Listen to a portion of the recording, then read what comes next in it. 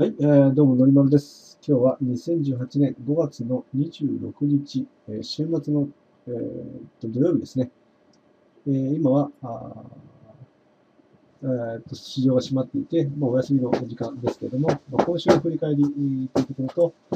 まあ、来週の、まあ、展望と、まあ、あれこれとお伝えできればいいかなと思います。よろしくお願いします。えっ、ー、と、これ、えーまあ、土曜日の冷やしですね。今週が始まったのが、ここ、21日、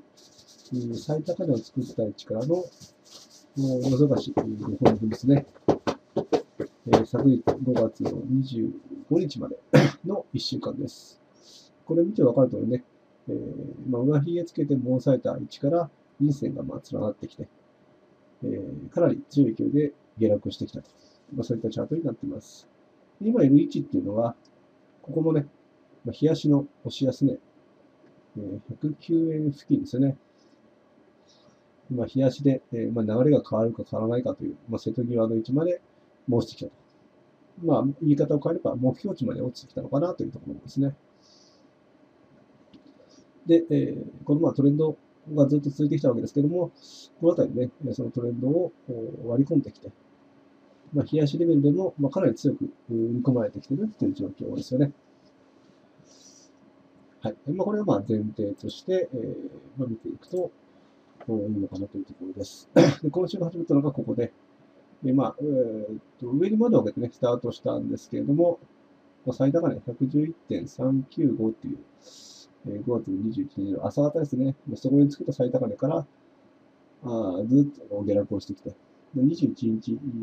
から、戻しをつけてからね、本格的にこう下落をしていったっていうチャートになっています。この部分っていうのが、えー、まあ4時間足レベルで見ると、こういうね、トレンドができてきていて、それ以下のね、まあ、30分、1時間足レベルでもいいと思うんですけども、えっ、ー、と、ここまでの、おまあ、日足で、まあ、ぐんぐんぐん登ってきた流れ。それから、一旦ね、こう、急激にこう、ずっと角度を、ぐーっと強めてね、上昇していったっていうところですよね。で、これが、あ、まあ、自分が注目していたところは、まあ、110円というところはもちろんなんですけども、えー、ここにね、しばらく、まあ、ラインを引いて、まあ、以前のこの天井圏でくらいなんですよね。で、こういったところと110円というところに注目して、このチャートを見ていたと。で、上昇していったときにね、これはまあ先々週ですよね。110円を突破していて、で、ぐっと1段階上がって、でここで1回110円でサポートされてから、もう1段階でぐーっと上昇してたっていうチャートで。で、まあ今週上まで分けて、まあ、さらにね、ぐーっと登っていったわけですけれども、そこから、えー、まあ流れが変わっていって、えー、ストンと落ちてきたっていうところになっています。で、これはまあ、えーまあ、チャートの特徴的な動きで、トレンドの終焉部分でね、ぐーっとこう、おまあ、かなり強く、勢いよく変われていって、その先にストーンと落ちてくるような、そういった特徴的な動きでもあるので、えー、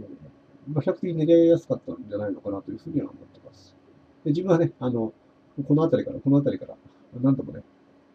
えー、こう下落の流れを狙っていったので、結局、この辺の上昇は、もうほとんどノーエントリーでしたよね。最終的に自分が入ったのがこの辺と、もう一回この辺りね、エントリーしてるんですけども、まあ、こういった動きを待っていたというか、あまあ、やっとこういう動きになったのかなと。いったところで、えー、今週はね、なかなかいいトレードができたんじゃないのかなというふうに思います。で、もう一回日足を見てみるんですけども、まあ、こんな感じでずっと上昇してるチャートが、ここでね、えー、かなり強い陰線が出てきて、まあ、ここからね、えー、強烈に売られてくるかどうかっていうのはまだ実際まではわからないですけども、今のこの強い上昇は、まあ、一旦収束をして、行く流れにはなったかなというところですね。で、まあ、その、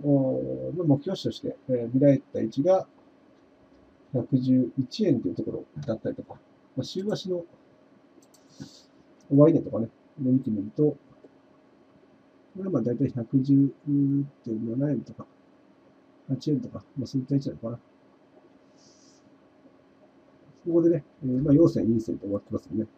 そういった位置、まあ、この髭が下げ合ったりっていうところに合わせていったとすると、まあ、111円まあ、少し下ぐらい。まあこのあたりがまあ意識されてるのかなっていうところが、まあ、週足では、えー、見て取れる流れにはなってるかなと思いますね。これがまあちょうど週を開けて、あ窓を開けたこのあたりの位置で、まあ、これが週足のラインというところで、この上の部分がまあネックラインとして、え、そこからまあストーンとしていったような、まあ、そんなイメージがあまあ強かったというところですね。で、こんな感じで。でこのあたりはまあどうトレードするかはまあその人次第ですけれども、ここまでまあトレンドが継続してきて、これが最後のその1時間とか30分のトレンドですよね。で、えー、窓を開けて、えー、急上昇していった先の動きで、まあ、週足ラインがこういうところにあると。週足実体、えー、レベルのラインですよね。なので、まあ、こういったラインを利用すると、まあ、この高値を更新できなかったこういうところとか、まあ、例えばこの揉み合いをを見て、えー、高値から売っていくとか、もしくはね、このラインを割り込んでいって、えー、まあ、窓を埋めた位置から、まあ、戻りを打っていくとか、こういうところを短期足レルで打っていくとか、もちろん111円ラインを下抜けていったところで打っていくとかね、いろんな戦略を持っていくと、まあ、なかなかね、いいエントリーには繋がったんじゃないのかというふうには、思います。で、そんな困難してるうちにね、なんだか、ちょっと忘れちゃいましたけど、この辺で、えー、北朝鮮とのアメリカの首脳会談が中心だったとか、なんだかっていうニュースが流れていて、もうそこで、このね、強い疑惑が始まった、あとかなんとかっていうニュースが流れていましたけども、実際にはね、このチャートはもうここで、ま、天井圏を迎えて、ま、売られやすい形になっていたっていうのが、まあ、事実としてあって、まあ、チャートの動きですよね。うん、実際自分もそのニュースを見て売ったわけではないですし、えーまあ、その前に、まあ、売ってるっていうところですね。まあ、どれが正解とかどれが不正解とか、まあ、そういうことではないですけれども、まあ、事実として、えーまあ、そういったニュースを受けて動くと、ちょっと遅いっていうのが、まあ、実際問題ですよね。で、これによってもね、ニュースっていうのは、ある種、後付けの意味合いの方が強かったりするので、ニュースを見てね、えーまあ、一喜一憂するのは、あやや危険な行動だというところは、まあ、常日頃お伝えしているところですね。で、えー、まあ、どれ、まあ、普段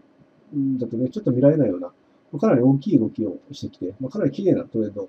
下落のトレンドを作ってきたので、ドーンといった先の戻り売りだったり、えー、その次の戻り売りだったりっていうところも結構狙いやすかったんじゃないのかなというふうには思います。でこれが110円ですね。110円ライ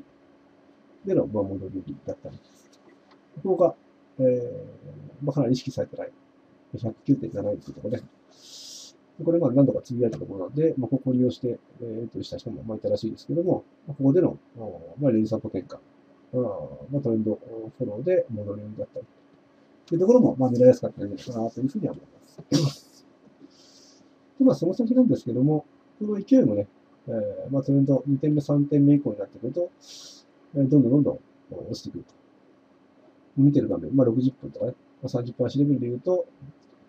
まあ、トレンドの勢いは、まあ、弱まってきそうな部分。で、加えて言うと、この109円というね、まあ、目標値に達成しているっていう部分。このあたりですよね。で、まあ、さらに言うと、まあ、週末に向けての値動きになってきたという部分。そういったところを見ると、えー、まあ、このあたりにね、まあ、横の動きになったりとか、まあ、一回強く戻ったりとか、まあ、そういったところを想定した方が良さそうな流れになってくるので、週末に向けてですね。うん。たら、まあ、こんだけ強く売られてくると、こういう重要ライン、えー、この30分足レベルで言うと、戻り高値ですよね。こういったところまで戻ってくると、やっぱり一回ね、戻り売りが入ってきやすいチャートなので、こういうところは、まあ、一つ売りやすいチャンスでもあるのかこの売りっていうのはね、えー、こういう直近安値が抜けてこないような流れになると、そこからは、まあ、流れが変わってきてしまう可能性があるので、また週明け以降、次の動き出しに注目していきたいなというところですね。で、まあ、この今の流れっていうところを見ると、ドーンとかなり強く売られてきて、まあ、移動平均線、これ4時間足ですね。移動平均線が剥離して剥離してるっていう状況。で、まあ、4時間足レベルでも、まあ、そこを作って、まあ、一回こう戻っていきそうな流れ、えー、というところはまあ見て取れるってことですね。ただし、えー、4時間のトレンドブレイク、冷やしのトレンドブレイクっていうところの流れがあると、戻ってきたら売られやすいっていうところは、あまあ、かなり強い、強く出てるの。で、例えば110円とか、そういったところからは、まあ、一回売られやすい流れ、えー、さらに言うと、この109円ラインを突破してくるような流れになってくるとすると、まあ、こういう流れから、あ動いてくる可能性というのが出てきたかなということですね。週が明けてくるとね、また流れが変わってくることになってきますし、うーんと、まあ、一旦戻る可能性っていうのは、あ想定して、まあ、週明けっていうところを迎えると、いいんじゃないかと。でも、この流れで言うとね、やはりこの109.7円というところ、今、あ現状のレジスタンスですね。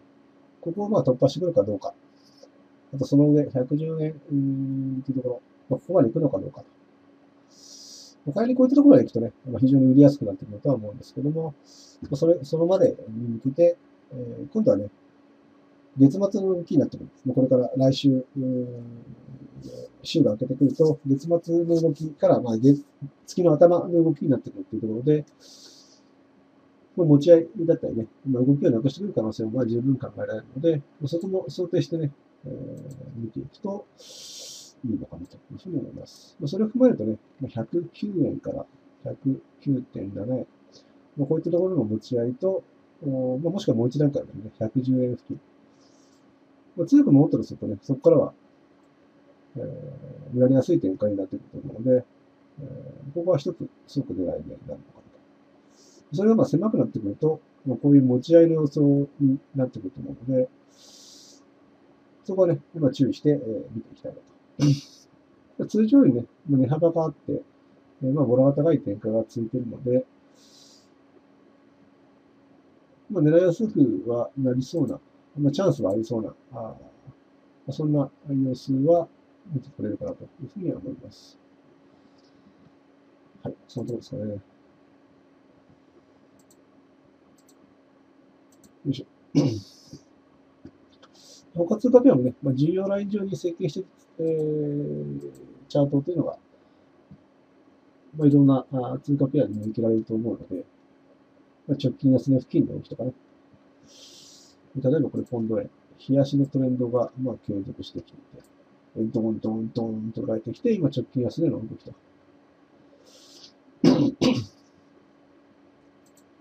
まあここも非常に戻りやすいところではあるけれども、おさあどうなのかなというところですよね。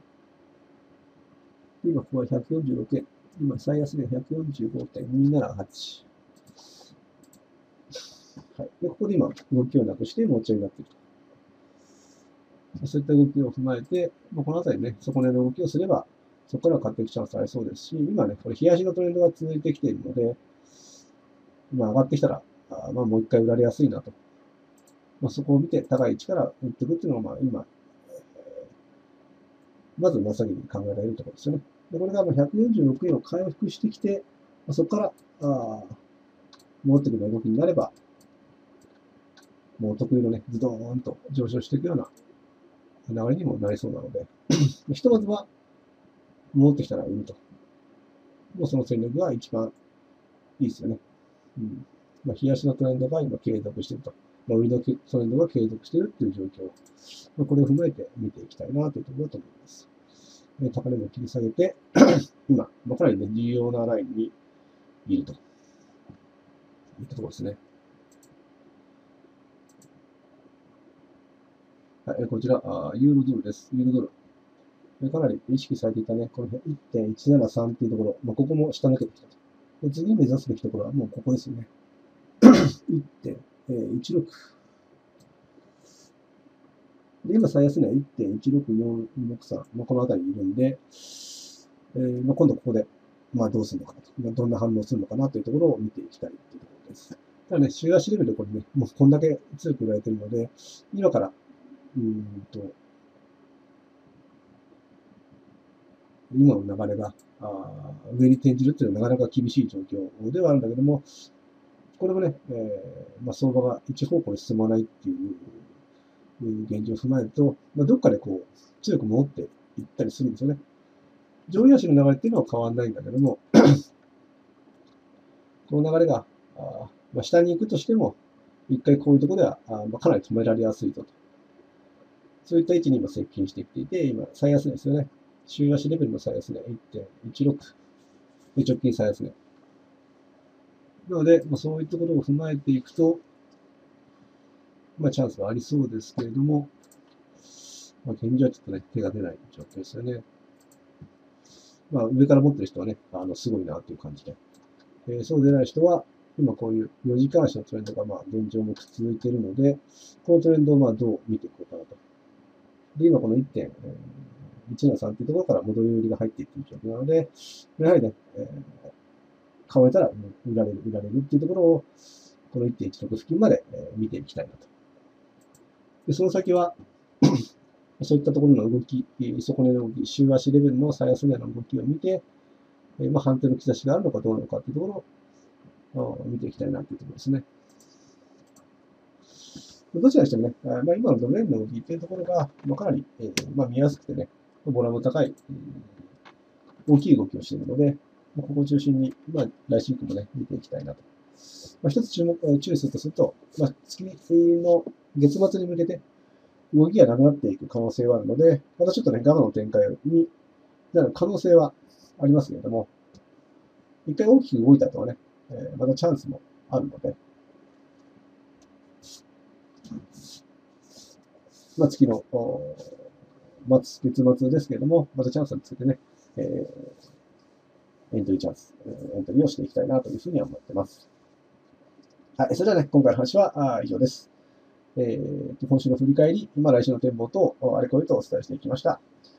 まあ、何らかのね、まあ、参考になればと思います。それではまた更新します。えー、今日も最後までご視聴いただきましてありがとうございました。